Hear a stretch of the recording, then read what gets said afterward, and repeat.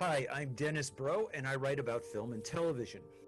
Previously, I wrote a book on something you're probably all familiar with binge watching TV series.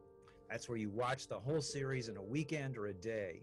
Of course, part of this is pure addiction, and you feel terrible afterwards. You feel like the show just manipulated you into watching episode after episode, and that's partly what it's trying to do. The satisfaction then may not be intrinsic to the show, that is part of it, but rather the satisfaction is to have accomplished the feat of getting to the end of the show. Netflix was the first to design shows in this way, where they could be consumed all at once with shows such as House of Cards and the current addictive series The Crown and The Queen's Gambit. But there's another kind of satisfaction that for me comes from watching serial TV series that have an actual point to them and teach some truths about the society we live in. I don't know about you, but when I've discovered one of these series, which are actually few and far between, instead of feeling empty afterwards, I feel that my time was well spent, that I learned something or had my view of the world challenged in a way that allowed it to expand. Most of these series deal either directly or symbolically with everyday struggles.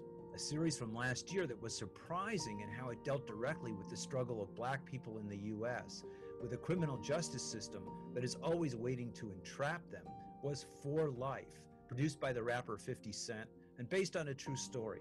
It's available on YouTube and Hulu. The first season has the man imprisoned unjustly, framed by a district attorney who used the defendant's trial to climb the ladder to success. Rather than simply wallow in prison, the man becomes a lawyer and then takes on the attorney in court and in the media.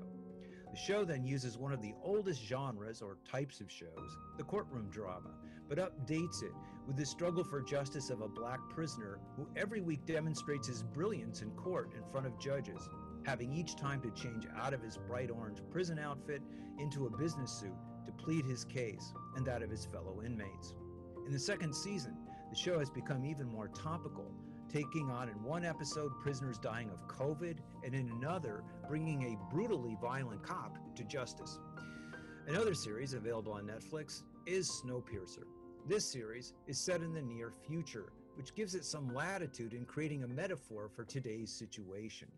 The characters are trapped aboard a train which keeps traveling the, an Earth frozen and uninhabitable because world leaders decided, a la Trump, that the way to prevent global warming was to fire nuclear weapons into the Earth's atmosphere.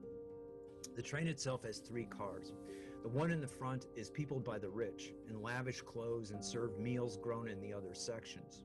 The middle section is workers also dedicated to serving the rich, but who perform jobs necessary to the train's functioning. The back section is inhabited by the tailies, those left to die when the train took off, who stormed the train to carve out their own place in it. The first season charts the rebellion of the tailies, who subsequently take over the train and make it a more equal place for all. While the second season is about the return of the owner of the train, Mr. Wilford, who wants to reinstate the old order and put everyone back in their place. This is a big budget action series, but with a point to it deliberately making a comment on the organization of today's world and on today's workers.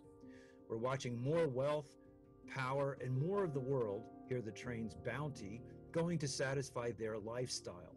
With those in the middle cars, who, in today, who in today's world are still needed workers like engineers and the technical and communications workforce, shrinking.